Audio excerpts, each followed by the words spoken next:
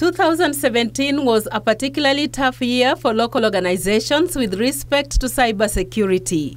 The latest Africa Cybersecurity Report by Serianu indicates that the number of threats and data breaches increased with clear evidence that homegrown cyber criminals are becoming more skilled and targeted.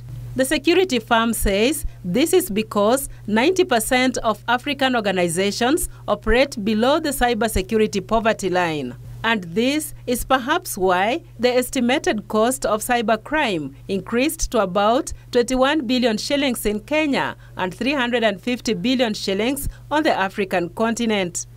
We have to anticipate this. We have to build the capabilities into protecting this environment. We have to build the ability into tracking how this information is moving back and forth within the organization, on devices not owned by the organization, and out of the organization itself. The exponential increase in internet access, penetration, user knowledge, experience locally and globally have created avenues not only for exploration, but for exploitation.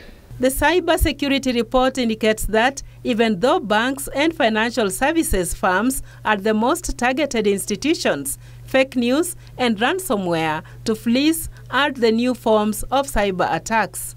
The report indicates that Kenyans lost 6.3 billion shillings to hackers using ransomware to fleece individuals and small and medium-sized institutions. We say Kenya lost 210 million US dollars through cybersecurity fraud.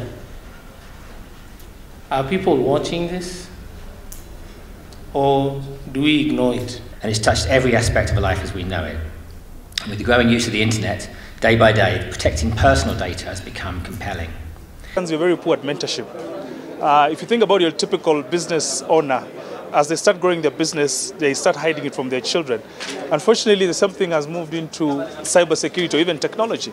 Our university programs are not helping students to be creative, to build solutions. To secure Kenya's cyberspace, the Kenya Defense Forces is working with other security agencies to help develop cybersecurity defenses.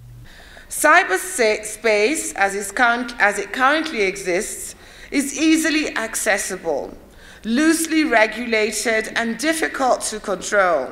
The Ministry of Defense and the Kenya Defense Forces will continue to be at the forefront of national security issues through the development and the enhancement of national cybersecurity and defense capabilities.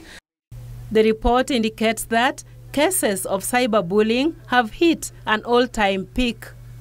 Judith Akolo, Channel 1 Business.